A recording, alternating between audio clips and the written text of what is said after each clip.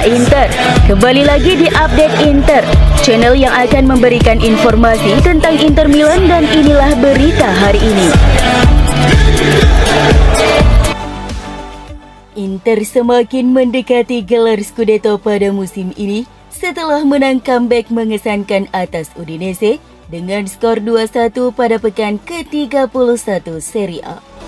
Udinese yang membutuhkan poin agar terhindar dari degradasi memberikan perlawanan sengit di sepanjang laga.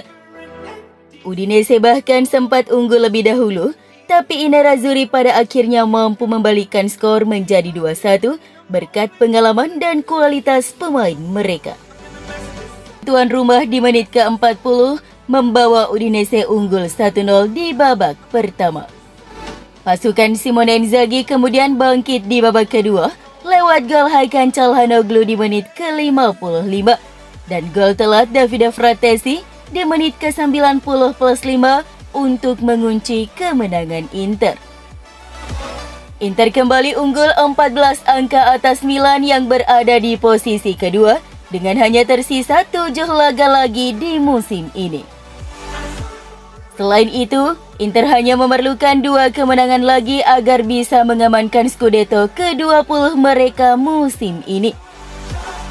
Duel derby Milan melawan Rossoneri pada pekan ke-33 bisa menjadi penentu apakah Nerazzurri dapat mengamankan gelar Serie A lebih cepat atau tidak.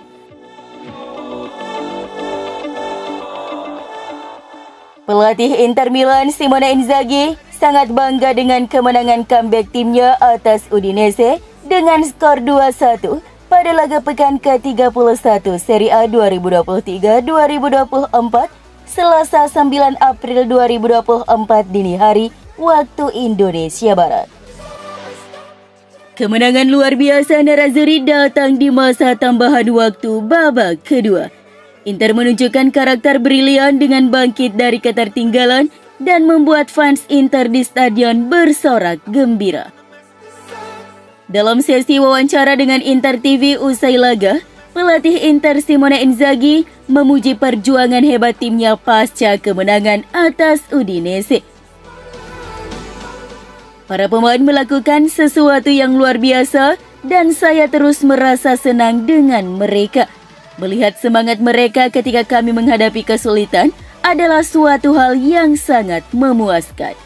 Ujar Inzaghi seperti yang dilansir dari laman resmi Inter.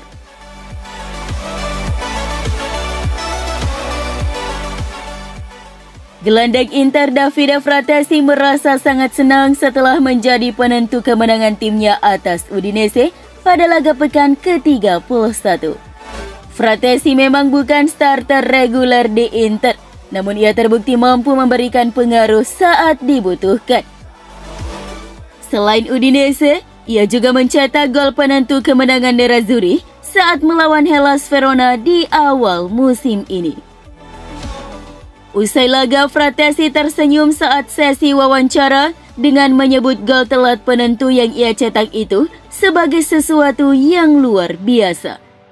Sungguh luar biasa bisa melakukannya di San Siro. Dengan begitu banyak fans Inter, sungguh menyenangkan. Ujarnya kepada Sky Sport Italia seperti yang dilansir FC Internews. Apakah selebrasi gol meriah itu mengacu pada Scudetto? Tidak, euforia sederhana atas kemenangan. Kami akan terus seperti ini.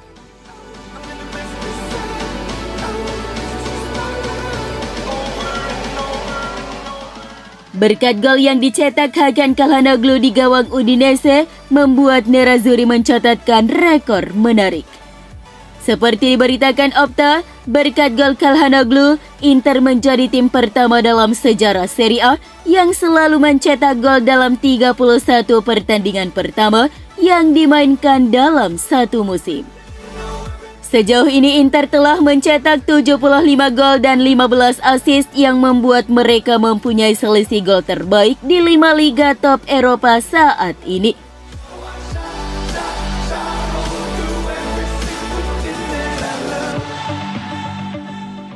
Duet penyerang Inter, Lautaro Martinez dan Marcus Thuram kembali gagal mengakhiri krisis gol mereka saat bertandang ke Udinese.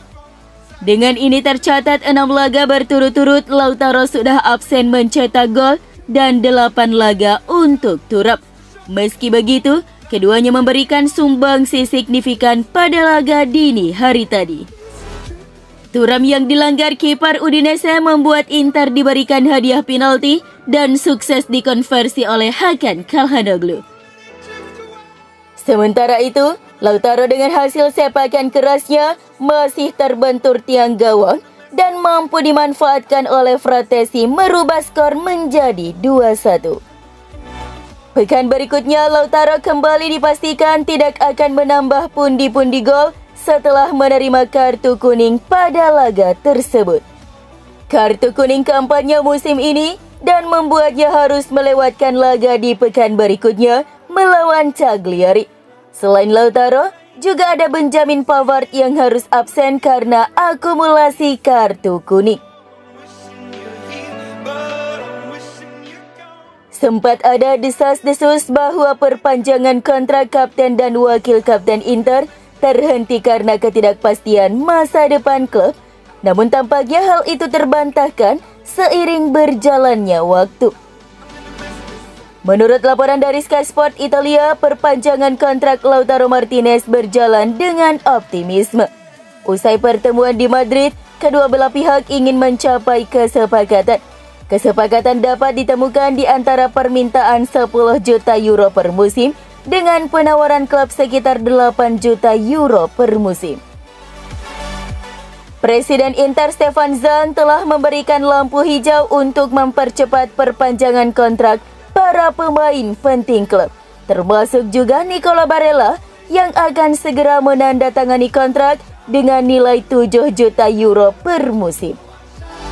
Kedua pemain kemungkinan akan memperpanjang kontrak hingga Juni 2028.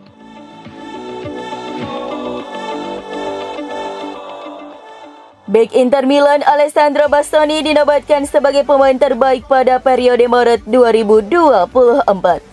Bastoni dinobatkan fans Nerazzurri sebagai pemain yang paling bersinar di bulan tersebut. Penghargaan itu didasari atas pilihan para fans Inter melalui voting di akun Instagram sponsor klub leovegas.news. Faktanya, dia mampu menyumbang asis dalam tiga pertandingan terakhir Nerazzurri di ajang Serie A melawan Bolonya, Napoli, dan Empoli. Itu merupakan torehan yang luar biasa mengingat posisinya sebagai seorang bek. Torehan itu sangat berperan dalam upaya Inter menuju tangga juara Liga Italia Serie A di musim 2023-2024 ini.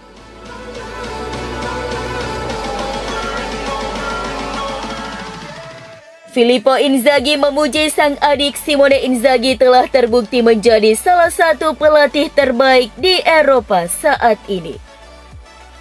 Baik Filippo dan Simone Inzaghi memiliki karir bermain di dunia sepak bola sebagai seorang striker. Namun Filippo Inzaghi sebagai pemain memiliki performa yang lebih baik selama masa bermainnya. Pelatih Inter saat ini menghabiskan sebagian besar waktunya di Lazio di mana ia memenangkan gelar Serie A serta Coppa Italia sebanyak tiga kali. Sementara Filippo memenangkan tiga gelar Scudetto bersama Juventus dan AC Milan. Ia juga dua kali memenangi Liga Champions bersama Rossoneri. Untuk karir internasional, Simone total hanya tampil tiga kali untuk timnas Italia.